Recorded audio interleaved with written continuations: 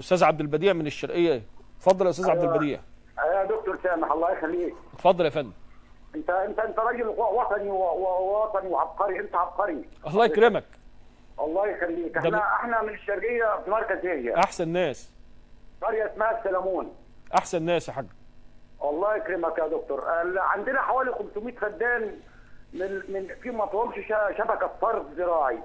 من سنه 90 من 90 ما فيهمش ش- صرف زراعي ما فيش ما فيش صيانة ولا في اي يعني أي إحنا. عندنا شبكة صرف زراعي محتاجة صيانة ولا ما فيش خالص؟ لا لا فيها فيها بس محتاجة صيانة من سنة 90 مفيش حد لا بنشوف صيانة. آه. وكم مره وكم مرة نجري ونروح أهالي القرية. مفيش أي حاجة. حتى من أيام برنامج قريتنا على الشاشة في القناة الرابعة. آه. أيوه عرضناها من أياميها؟ ولا في أي حاجة خالص.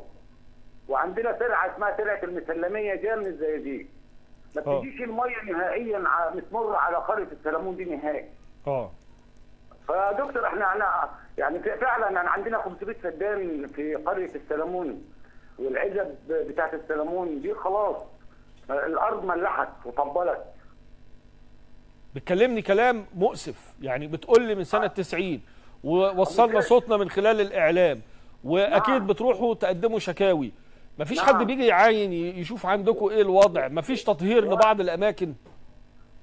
آه والله يا دكتور إحنا إحنا إحنا, إحنا اسفين إحنا اسفين نتكلم الكلام ده هو يعني انت محافظة الشرقية جه فيها أكتر من وكيل وزارة للري ممتازين واشتغلوا. اشمعنى المكان ده؟ يا يا دكتور ده, ده في حاجة كمان ثانية يعني ال 500 فدان لو نزلت شركة هي مش هتخسر الدولة أي شيء ولا هتخسر الميزانية أي حاجة. ده كل المشكلة إنها تتعمل على على نفقة المزارعين والبنك وهنسددها للبنك. أهم حاجة الشبكة. طب أنا بس عايز أسألك آه، مفيش يعني ما رحتوش كده قابلت وكيل وزارة الري في مرة؟ يا باشا ده إحنا بنقوم بحملات ونلم ونبيع في الميكروفونات وناخد عربيات ونروح ومفيش حاجة. وحتى اتكلمنا من زمان في في, برنامج قريتنا على الشاشة بتاع الأستاذ محمد نصر والهادي عبد العظيم في القناة الرابعة زمان قبل ما تكون قناة القناة. ولا في صوت على نادي ولا أي حاجة. سيادتك لو الكاميرات نزلت بس وصورت عينيا.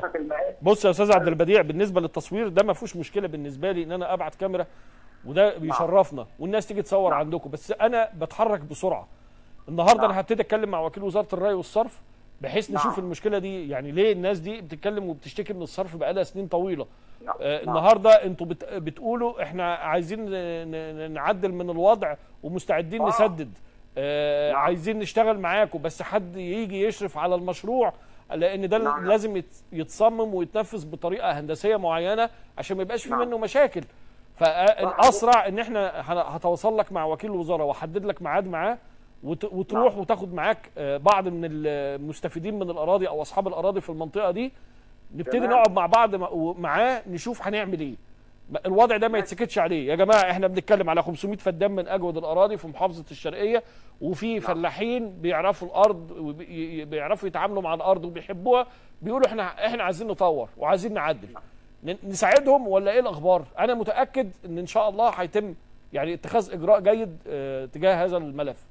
آه كل اللي أنت هتتعب فيه معايا شوية إن أنت تتابعني وهحدد لك ميعاد تروح تقابل فيه وكيل الوزاره ماشي وبعدين ال- المية مية الري في ترعه المسلمية اللي نازلة من الزقازيق هو كل المشكلة كل ما بتتفتح بتفتح الترعه حوالي على طول 10 كيلو لمدة ما, ما يتمش ساعة واحدة عشان تاخد الزبالة وتاخد ده كله. بقول لك إيه يا أستاذ عبد البديع؟ أنا الصرف مهم عندي قوي زي الري. الأرض اللي بتشرب مية دي عايزة تصرف المية الزايدة علشان تفضل الأرض بتاعتنا خصبة ومنتجة. كده الوضع ما ينفعش مش هنعرف نشتغل. فأنا بقول لك أنا إن شاء الله هتابع لك مع السيد وكيل وزارة الري والص- والصرف وعايزين منه تقرير مفصل عن وضع ال 500 فدان أو منطقه آه، السلموني آه، يقول لي أخبارهم إيه في الري والصرف؟ وهرد عليك آه، على الهوا بإذن الله. بشكرك. الخط رقم 26 يا دكتور. أنت سيب لي بس رقمك. خط رقم 26 حاضر.